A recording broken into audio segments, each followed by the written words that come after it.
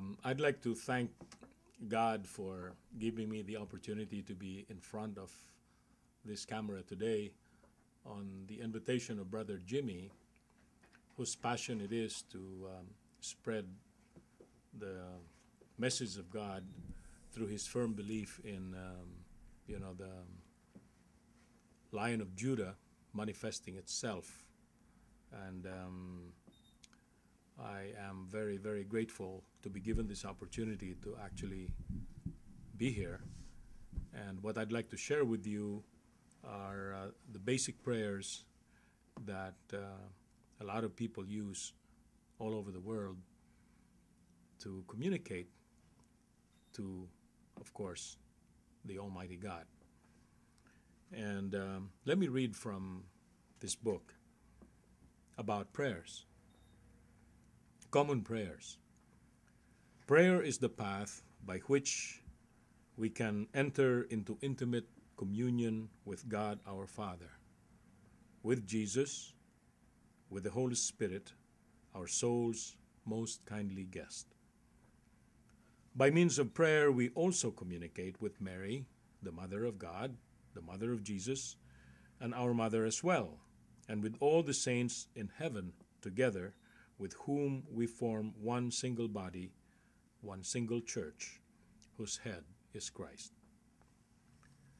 We have constant need of prayer, therefore, in the same way that we need air to breathe. Prayer holds the key to our true happiness, our perseverance in faith and grace, our strength to avoid falling into sin, our willingness to bear the weight of sorrows and trials.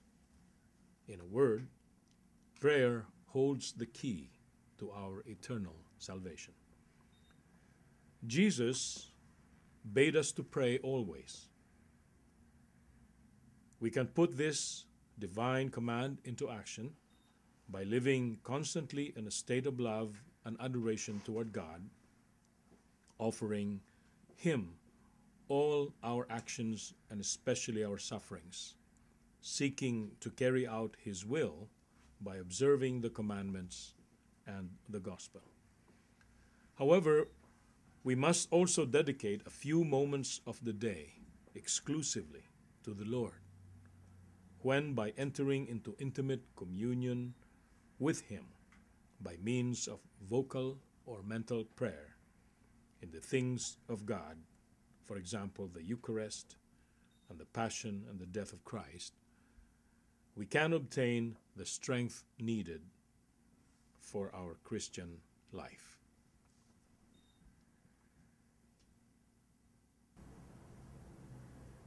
My dear brother and sister uh, around the world, right now we do have uh, more than 7 billion brother and sister around the world and of course we have uh, many different uh, uh kind uh, religions and uh, there are different kind of prayer mm-hmm.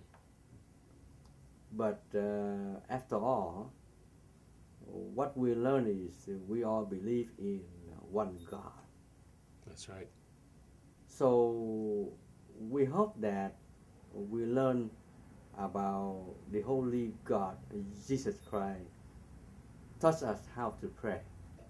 Mm-hmm. Uh, my experience, I see that that is the best way and the only way to pray, to communication and to connect to the Almighty God by the teaching of the Holy God, Jesus Christ. So would you please, uh, Brother Henry, would you please um, share about uh, the prayer of, of uh, uh the Holy God, Jesus Christ, touch us uh, more than uh, somewhere around, you know, sometime about 2,000 years ago. You know, the prayer of our Father in heaven. Right. Because I know that you speak English much well than I do. So I'm glad that you're here because Thank you for that. Would you please share that to our brother and sister around the world? Thank you. Thank you very much, Brother Jimmy.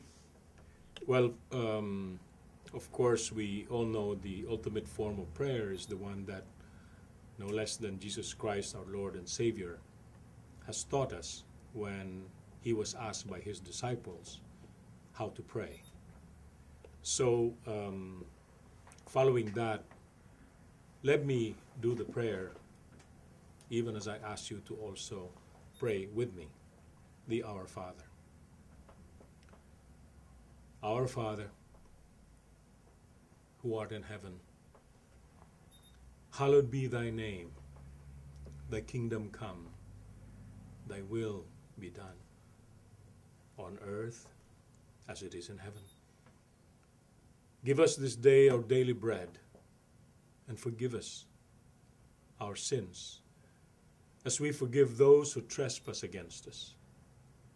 And lead us not into temptation, but deliver us from every evil. Amen. My dear brother and sister around the world, this is the image of the Holy God, Jesus Christ, appeared in the sky August 29, 2009, when me and some of our brother and sister pray uh, in a public place. Of course, I make this uh, color darker so you may see more detail. But uh, this is uh, the original color is right here, so I need to show you. Uh, you may, you know, learn something.